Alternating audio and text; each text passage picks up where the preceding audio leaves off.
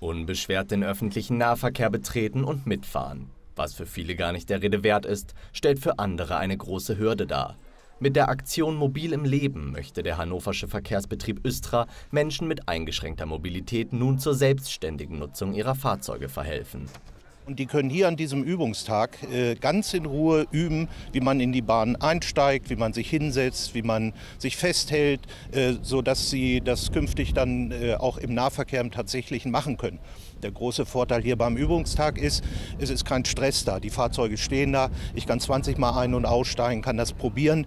Geschätzt ein Viertel aller Fahrgäste der Östra sind in ihrer Mobilität eingeschränkt egal ob Menschen mit Rollstuhl, Sehbehinderung oder auch ältere Menschen mit Rollator. Das Training kann kostenlos und ohne Anmeldung besucht werden. Als Übungsobjekte dienen die drei Straßenbahntypen, die auch im Alltag in der Region Hannover zu finden sind. Dazu ein Elektrobus der neuesten Generation, der auf Knopfdruck des Fahrers eine elektrische Rampe ausfährt. Für Fragen, Tipps und Tricks stehen geschulte MitarbeiterInnen sowie ein Trainer, der selbst im Rollstuhl sitzt, zur Verfügung.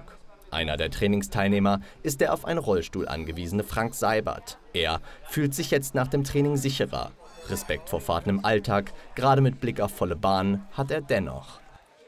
Also ich äh, muss dazu sagen, ich bin Fahrer also immer in Begleitung äh, und äh, ich habe also vorhin mehrfach da bewiesen, dass ich das auch alleine kann. Nun steht da keiner, nun ist, ist die Bahn nicht belegt. Aber es ist eben teilweise so, äh, dass wir äh, verschiedene Situationen äh, hatten, wo ich dann auch mal laut geäußert habe zu meiner Partnerin, das ist der Grund, warum ich nicht alleine fahre. Ne? Weil man ständig, wenn man einen Termin hat oder irgendwie immer darauf angewiesen ist, dass einer mitkommt, der dann schon mal einen halben Meter vorgeht und sagt, ja, Achtung, bitte äh, Plätze ein bisschen räumen. Um allen auf Hilfe angewiesenen Fahrgästen dennoch eine möglichst barrierefreie Nutzung des öffentlichen Nahverkehrs zu bieten, sollen laut Östra technische Mittel am Gleis oder in den Fahrzeugen dienen.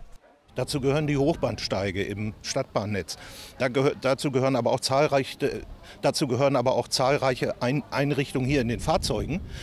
Äh, zum Beispiel im Bus äh, Türtaster. Der Rollstuhlfahrer kann, ohne dass er aufstehen muss, einen Taster benutzen, um zu signalisieren, ich möchte an der nächsten Haltestelle aussteigen. Hilfsmittel, die den Alltag für mobilitätseingeschränkte Fahrgäste vereinfachen. Frank Seibert wünscht sich darüber hinaus mehr Aufklärung bei seinen Mitmenschen. Dass man vielleicht auch mal äh, die Leute so ein bisschen reinzieht, um, um das überhaupt zu verstehen, dass man das mal kommuniziert, äh, dass die Leute diese Problematik äh, vielleicht überhaupt erstmal erkennen. Ein gutes Training und Platz zum Ausprobieren ist wichtig und hilft Betroffenen. Doch auch Fahrgäste ohne eingeschränkte Mobilität sind gefragt. Denn um ein sicheres Fahren im Nahverkehr für alle zu ermöglichen, ist ein Respekt und rücksichtsvoller Umgang unverzichtbar.